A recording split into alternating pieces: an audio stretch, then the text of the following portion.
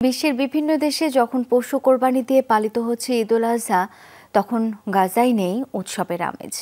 ঈদের দিনও হামলা হয়েছে গাজার বিভিন্ন এলাকায়। রক্ত ঝরেছে ফিলিস্তিনিদের। গাজাবাসী বলছেন পশু নয় নিজেদের জীবন কোরবানি করার জন্যই তারা প্রস্তুত। শিয়া বাটার অ্যালোভেরা ও ভিটামিন ই সমৃদ্ধ লিলি বিউটি সোপ পশু নয় নিজেদের জীবন কোরবানি দিচ্ছি আমরা। বুকে হাহাকার নিয়ে এভাবেই গাজার ঈদের বর্ণনা দিলেন খান ইউনিসের বাসিন্দারা। ইসরায়েলের লাগাতার আগ্রাসনের মুখে ঈদ উদযাপন তো দূরের কথা, ঈদের দিনে বেঁচে থাকবেন কিনা নেই সে গ্যারান্টিও। এমনকি ঈদের দিনও হামলা হয়েছে ফিলিস্তিনিদের ওপর।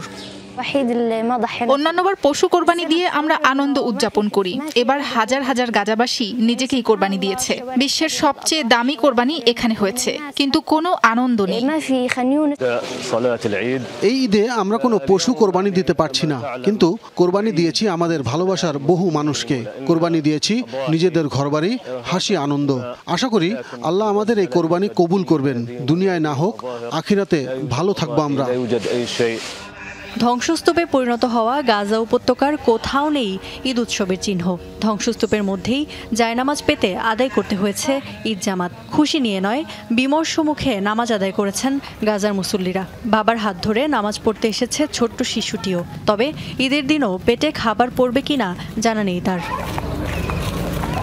ইসরায়েলি হামলার মুখে এখন অনেকটাই শূন্য জনপদ খান ইউনিস।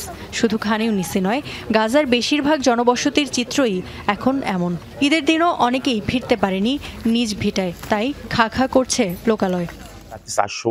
যুদ্ধ শুরুর পর থেকেই এক জায়গা থেকে আর এক জায়গায় উদ্বাস্তু হয়ে পালিয়ে বেড়াচ্ছে। বাচ্চাদের জন্য এক টুকরো মাংসেরও জোগাড় হয়নি। এটা আমাদের জন্য ঈদ নয়, বরং বর্বরদের জন্য ঈদ। সেখানে আমাদেরকে কোরবানি দেয়া হচ্ছে।